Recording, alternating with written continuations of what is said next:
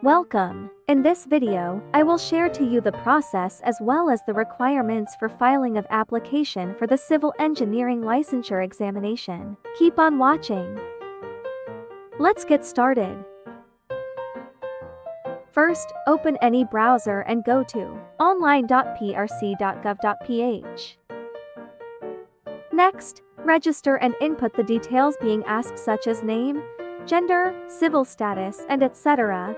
Make sure to double check before proceeding.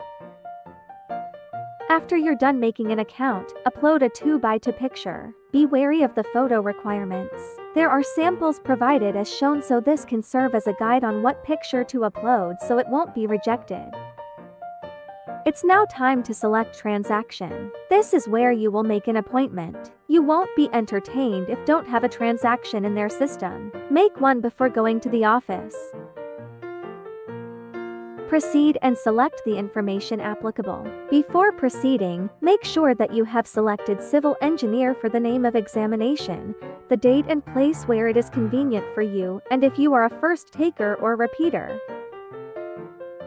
For smooth transaction, I advise that you complete your payment online so that it will be less hassle when you go to the PRC office. In preparation for processing and submitting of documents on the scheduled date, don't forget to download and print the application form and receipt in 8.5 inches by 13 inches bond paper. Yeti, you're now done making an appointment. Make sure that you go on the date that you have chosen, though, you can always reschedule if something came up. Let's now proceed with the requirements. You need to prepare the following ahead of time. 1. An SOPSA birth certificate. 2. An SOPSA marriage contract for married female applicants. 3. Transcript of records with scanned picture and remarks for board examination purposes. 4. Valid NBI clearance. 2 to certificates of good moral character from any two of the following barangay, church, school, employer, and a payment of 900 pesos which you may pay online or to their cashier if available.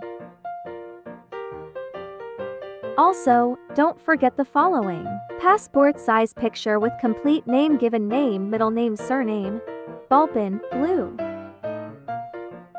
Check the following in the application form. If you have stamp at home, then stamp your right thumb mark on the designated box.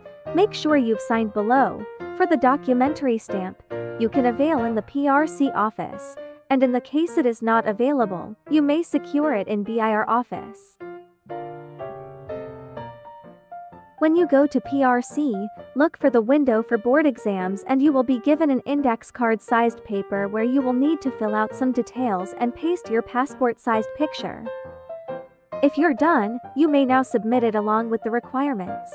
Note, make sure to bring the original copies of the documents as they might ask it for counter-checking purposes. After submitting, they will process it and after a few minutes your notice of admission will be given. And tada, you're done. Make sure not to lose your NOA. Good luck future RCES.